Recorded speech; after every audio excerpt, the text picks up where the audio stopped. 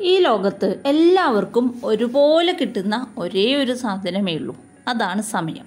അത് ഇന്ത്യൻ പ്രസിഡന്റിനായാലും നമ്മളെപ്പോലുള്ള സാധാരണക്കാർക്കായാലും ഒരേപോലെയാണ് കിട്ടുന്നത്. എല്ലാവർക്കും ജി കെ ആൻഡ് ഡ്രീംസിന്റെ പരിസ്ഥിതി ക്യൂസ് ആൻഡ് സയൻസ് ക്യൂസ് ഭാഗം ഇരുപത്തൊന്നിലേക്ക് സ്വാഗതം. ചോദ്യം ഒന്ന് ജന്തുലോകത്തെ എഞ്ചിനീയർ എന്നറിയപ്പെടുന്ന ജീവി ഏതാണ്? ഉത്തരം ബീവറാണ് ജന്തുലോകത്തെ എഞ്ചിനീയർ എന്നറിയപ്പെടുന്ന ജീവി ബീവർ. ചോദ്യം രണ്ട് ശരീരത്തിലെ ഏറ്റവും കടുപ്പമേറിയ ഭാഗം ഏതാണ്? ഉത്തരം പല്ലിന്റെ ഇനാമലാണ് ശരീരത്തിലെ ഏറ്റവും കടുപ്പമേറിയ ഭാഗം. ചോദ്യം മൂന്ന് കാനിസ് ഫെമിലിയാരിസ് എന്നത് എന്തിന്റെ ശാസ്ത്രനാമം ആണ്? ഉത്തരം നായയുടെ ശാസ്ത്രനാമമാണ് കാനിസ് ഫെമിലിയാരിസ്. ചോദ്യം നാല് മനുഷ്യ ശരീരത്തിലെ ഏറ്റവും വലിയ അസ്ഥി ഏതാണ്? തുടയസ്ഥി അഥവാ ഫീമർ ആണ് മനുഷ്യ ശരീരത്തിലെ ഏറ്റവും വലിയ അസ്ഥി എന്ന് അറിയപ്പെടുന്നത്. ചോദ്യം അഞ്ച് മനുഷ്യ ശരീരത്തിലെ ഏറ്റവും ചെറിയ അസ്ഥി ഏതാണ്?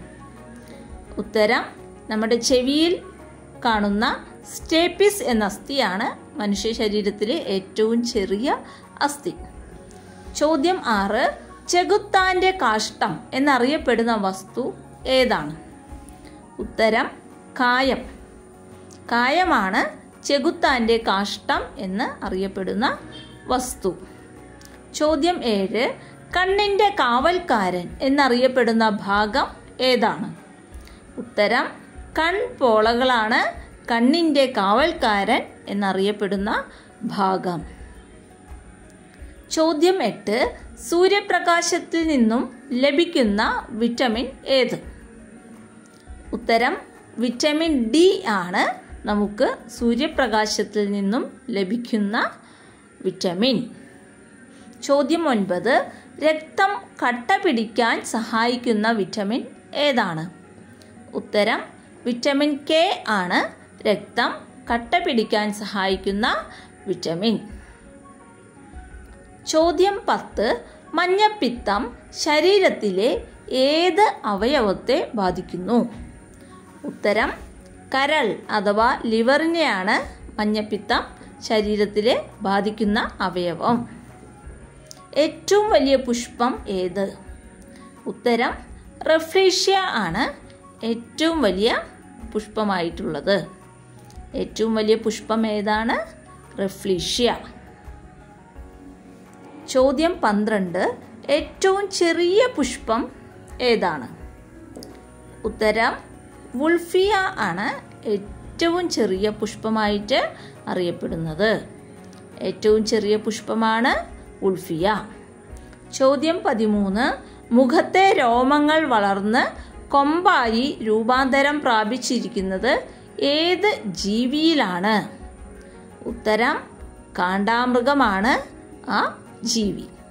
ചോദ്യം പതിനാല് ഹരിതകമുള്ള വേരോട് കൂടിയ സസ്യം ഏതാണ്?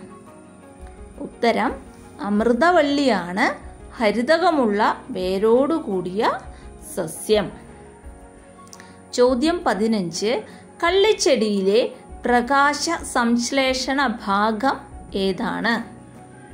ഉത്തരം അതിന്റെ കാണ്ഡം അഥവാ സ്റ്റെമ്മാണ് കള്ളിച്ചെടിയിലെ പ്രകാശ സംശ്ലേഷണ ഭാഗമായിട്ട് അറിയപ്പെടുന്നത്. നമ്മൾക്ക് കിട്ടുന്ന ഒരു സമയവും നമ്മൾ പാഴാക്കരുത്. കാരണം നഷ്ടപ്പെട്ടു പോയാൽ അല്ലെങ്കിൽ നമ്മൾ നഷ്ടപ്പെടുത്തി കഴിഞ്ഞാൽ ഒരിക്കലും തിരിച്ചെടുക്കാനാവാത്ത ഒന്നാണ് സമയം. മത്സര പരീക്ഷകൾക്ക് തയ്യാറെടുക്കുന്നവർക്കോ നിങ്ങളുടെ മക്കൾക്കോ ജി കെ ആൻഡ് ഡ്രീംസ് എന്ന ഈ ചാനലിലെ വീഡിയോകൾ ഉപകാരപ്രദമാകുന്നു എന്ന് തോന്നുന്നുവെങ്കിൽ ഈ ചാനൽ സബ്സ്ക്രൈബ് ചെയ്യുക. തൊട്ടടുത്തുള്ള ബെൽ ബട്ടൺ കൂടി എനേബിൾ ചെയ്തോളൂ. Okay thank